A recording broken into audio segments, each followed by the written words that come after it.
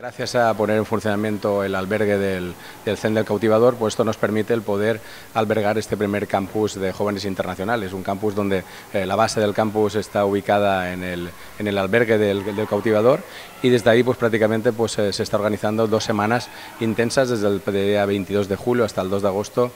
pues un total de 20 jóvenes, de ellos eh, 14 de 8 países, eh, vienen de Francia, de Italia,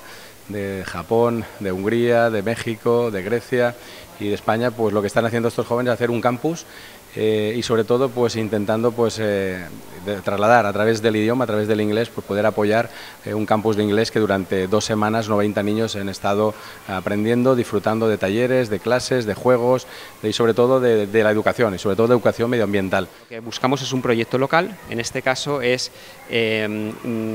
pues, un campamento, una especie de campamento urbano realizado por voluntarios, pero en inglés, con inmersión lingüística. Entonces, mmm, dar salida a los chavales que están en julio que no tienen mucho que hacer a través de voluntarios internacionales que vienen de diferentes países, de varios continentes, Asia y África, eh, Europa por supuesto, países tan extraños como Japón, México, y ellos vienen a hacer actividades en inglés con los niños de aquí. ¿Con qué finalidad? Con educarles en valores, educarles en principios, siempre utilizando el inglés para que ellos entiendan que la lengua vehicular del futuro es el inglés y,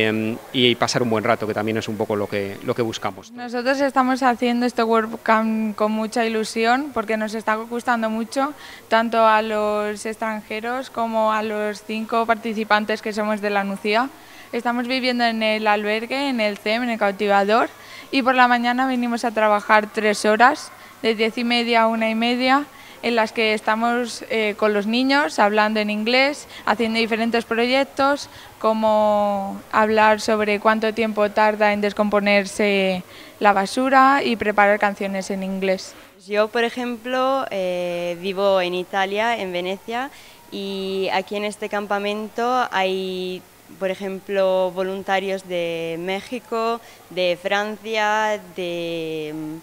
bueno, de España, sí, de Eslovaquia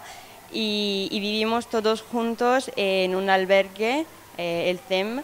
y, compartimos la,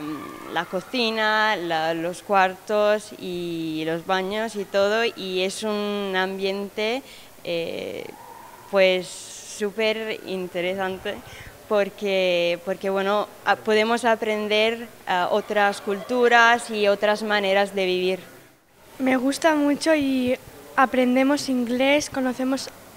hacemos nuevos amigos y conocemos a profesores de otros países.